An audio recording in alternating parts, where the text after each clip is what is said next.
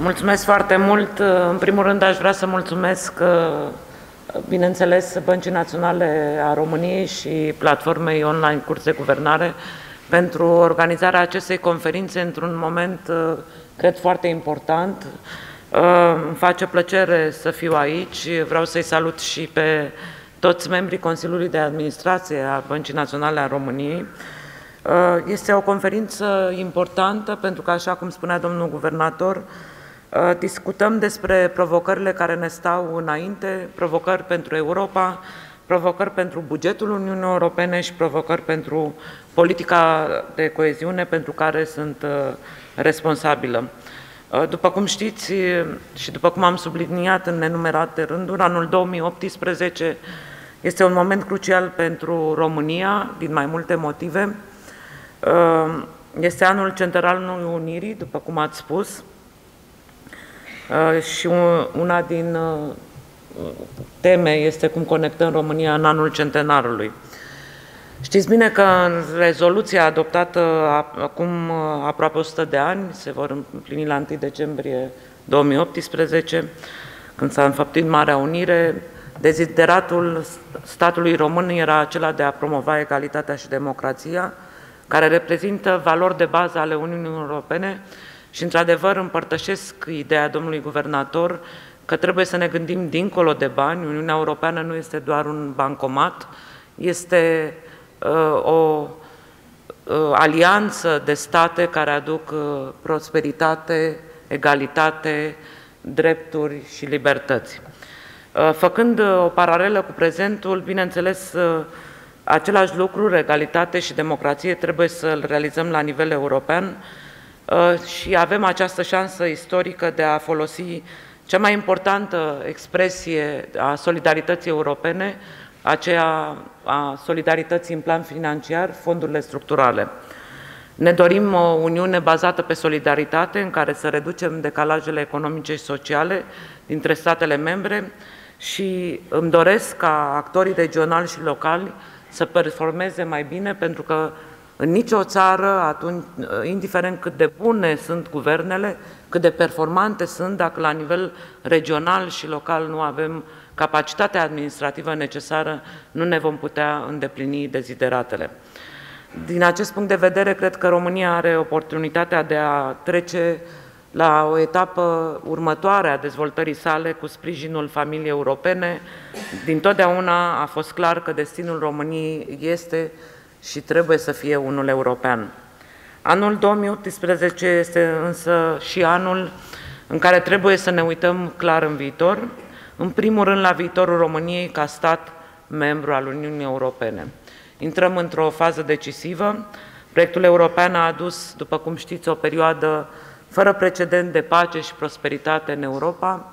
Sigur, lăsăm în seama istoricilor ce au însemnat pentru statele noastre faptul că nu am fost parte a Uniunii Europene încă de la începutul înființării sale și cât am pierdut, dar uh, este clar că anii de criză economică, presiunile globalizării, noile provocări, acum avem uh, momentul Brexit, au creat uh, multe tensiuni în comunitatea noastră.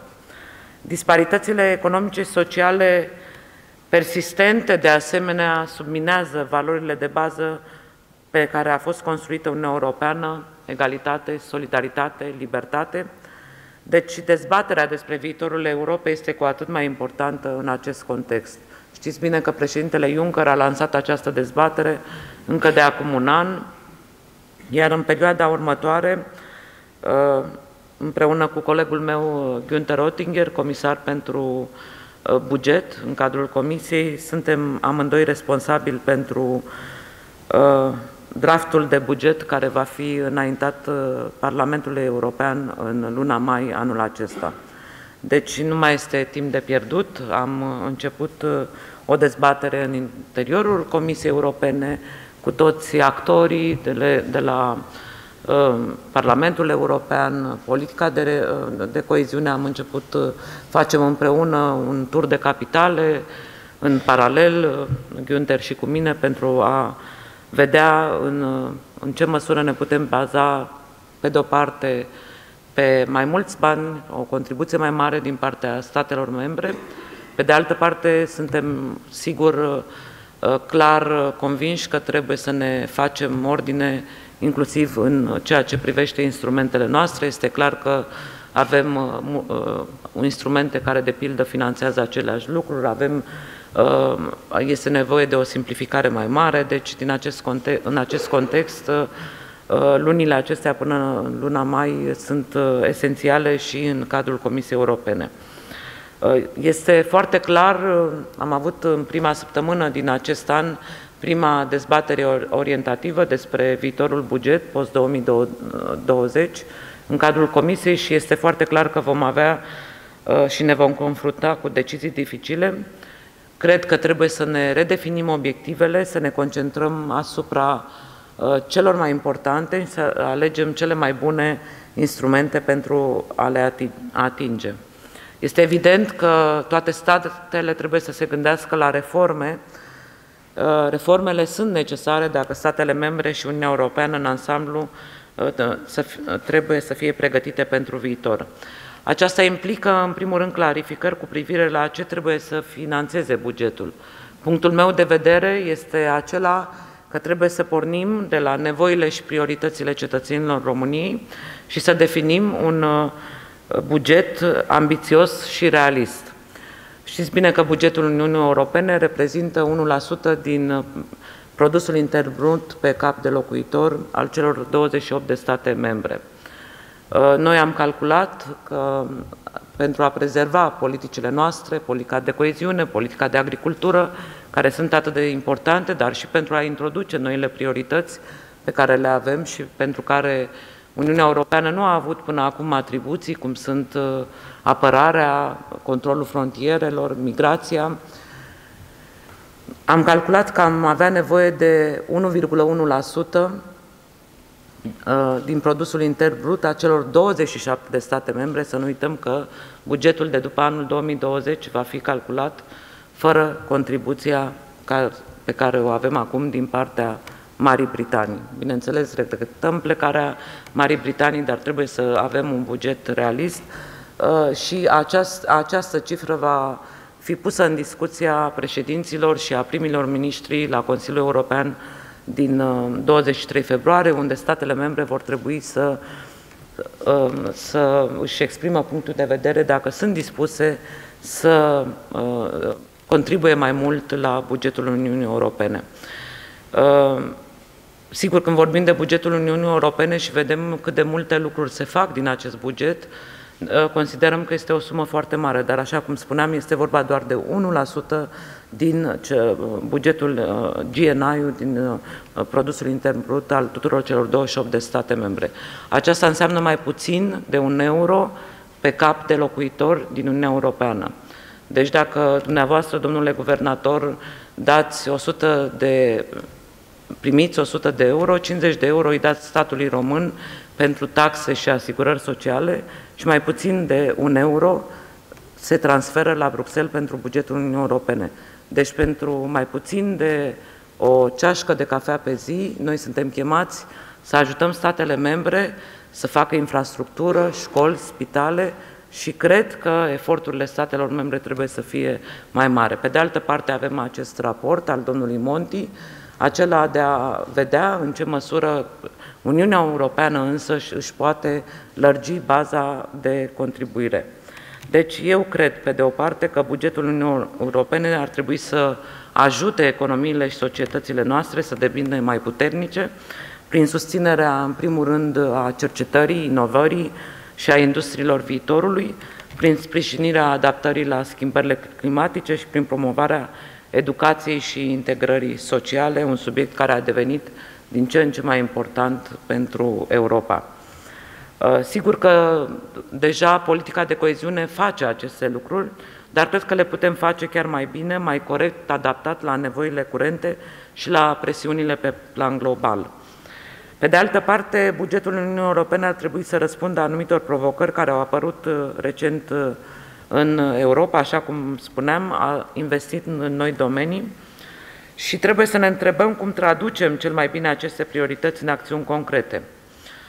Așa cum spuneam, ă, nu am ajuns încă în faza în care vorbim de cifre concrete, dar trebuie la un moment dat, probabil în cursul lunii martie, luată o decizie privind volumul și structura bugetului. Trebuie să ne gândim care sunt zonele în care avem nevoie de resurse noi sau mai numeroase și cum le putem folosi mai eficient. Vreau să vă spun că deja de la începutul lunii ianuarie am uh, uh, inițiat o consultare publică în legătură cu modul în care statele membre uh, văd uh, structura bugetului de după 2020 și vă invit pe toți ca persoane individuale, ca asociații, să vă expuneți punctul de vedere, pentru că, într-adevăr, pentru noi fiecare idee, fiecare poziție este importantă, statele membre sunt diferite, nevoile sunt diferite, deci este uh, clar că trebuie să găsim un echilibru. Uh, din punctul meu de vedere, deși se vorbește în ultimul timp despre tăierea fondurilor structurale și de investiții, eu cred cu tărie că Europa are nevoie de mai multă coeziune, nu de mai puțină. Și de aceea vă asigur că voi lupta ca viitoarea politică de coeziune să îndeplinească așteptările cetățenilor noștri. Uh, dumneavoastră vorbeați mai devreme de fondurile structurale și de investiții pe, pe ca, de, uh, de care a beneficiat România în ultimii 10 ani. Să nu uităm că am avut și fonduri de preaderare, care au însemnat de asemenea foarte mult pentru economia românească și uh, datorită fondurilor structurale și de investiții ne propunem ca niciun cetățean al Uniunii Europene să nu fie lăsat în urmă. După cum spunea președintele Juncker în discursul său despre starea Uniunii Europene, trebuie să asigurăm oportunități pentru toți cetățenii europeni. Și politica de coeziune trebuie să fie pregătită să facă față acestei provocări, să livreze rezultate mai repede și să permită o mai mare flexibilitate decât în trecut. Am avut experiențe în ultimii ani legate de migrație, legate de evenimente neașteptate, cum sunt relocări ale unor fabrici. Și ne-am dat seama că avem nevoie ca în regulamentele noastre să avem o mai mare flexibilitate și să ne axăm mai mult pe rezultate, pe performanță. Uh, și sigur ne vom lupta ca politica de coeziune să rămână în continuare principalul instrument de investiție al Uniunii Europene, Uh, dar uh, ca să obținem aceste rezultate, sigur că singura noastră armă este aceea de a demonstra eficiența acestei politici de coeziune. Unul dintre principalele criterii pentru evaluarea acestei eficiențe este valoarea adăugată. Politica de coeziune aduce în mod cert valoare adăugată prin proiectele pe care le finanțează. Vorbim de creșterea capacității administrative a autorităților care au acum noi instrumente la dispoziție pentru profesionalizarea funcționarilor publice și de asemenea cel de-al șaptelea raport privind politica de coeziune uh, pe care tocmai uh, l-am lansat la Bruxelles, un studiu foarte uh, bun, cred și aprofundat, pe care vi-l recomand, demonstrează foarte clar că o calitate scăzută a actului de guvernare, o capacitate administrativă scăzută a autorităților împiedică dezvoltarea economică. De aceea, în orice țară, avem nevoie de continuarea reformelor structurale în relație directă cu agenda de reforme a Uniunii Europene. Este nevoie, de asemenea, de o abordare orientativă și coordonată pentru a crește capacitatea administrativă. Eu am spus întotdeauna, banii nu sunt totul. Avem în atât de multe țări bani care așteaptă la Bruxelles, dar fără să primim însă proiecte de calitate pentru a putea Uh, face plăți. Deci este important ca și în viitor politica de coeziune să continue să sprijine statele, dar mai ales administrațiile locale, uh, dar în acest scop, uh, sigur, suntem conștienți de faptul că există multă birocrație, că trebuie eliminate toate piedicele care stau în calea investițiilor și a bunei utilizări a fondurilor europene. Știm că este o nevoie de o implicare mai mare a serviciilor Comisiei Europene în procesul de dezvoltare a regiunilor din, din Uniunea Europeană și vreau să-i salut pe colegii mei de la DigiRigio care sunt aici prezenți și au fost prezenți în ultimii uh, trei ani, cel puțin de când sunt uh, comisar european. Numai anul trecut au avut loc peste 130 de întâlniri tehnice între experții Comisiei Europene și cei ai administrației naționale și locale. Și cred că rezultatele s-au văzut. Am reușit să încheiem exercițiul financiar anterior cu o cifră nesperată de peste 90%, lucru care înainte ar fi fost de neimaginat. S-au creat peste 51.000 de locuri de muncă numai datorită fondurilor europene în ultimii ani. Deci, uh, din acest punct de vedere, cred că reducerea disparităților și a decalajelor despre care vorbeați, domnule guvernator, reprezintă o prioritate esențială. De altfel, în tratatul Uniunii Europene, atunci când uh, Fondul de Dezvoltare Regională a fost creat, uh, a fost creat tocmai pentru a reduce decalajele nu numai dintre țările Uniunii Europene, dar și din interiorul unor țări. În anul 2015 am lansat inițiativa regiunilor rămase în urmă. Este cea care reprezintă un bun exemplu al modului în care Comisia Europeană sprijină acest proces. A fost lansată special pentru a ajuta regiunile mai puțin dezvoltate uh, și din România, ca proiecte pilot, am ales regiunea Nord-Est și regiunea Nord-Vest, identificând cele mai bune oportunități și investiții. Cred că prin această inițiativă am reușit uh, să găsim soluții a, la nivelul regional uh, și am, am reușit ca și Comisia Europeană să punem la aceeași masă autoritățile locale, mediul de afaceri, societatea civilă, nevoile sunt foarte mari pentru cât, câte fonduri avem și sigur uh, îmi propun să mergem de pildă în Moldova pentru a arăta cât de mult a însemnat această inițiativă a regiunilor mai puțin dezvoltate pentru a prioritiza investițiile um, și a pune în acord uh, resursele existente cu expertiza pe care o avem. În continuarea acestui tip de sprijin uh, pe care Comisia îl oferă, analizăm de asemenea modul în care pot fi reduse în viitor piedicile administrative pentru autorități și beneficiari. Din analizele noastre și de, din constatările grupului de lucru,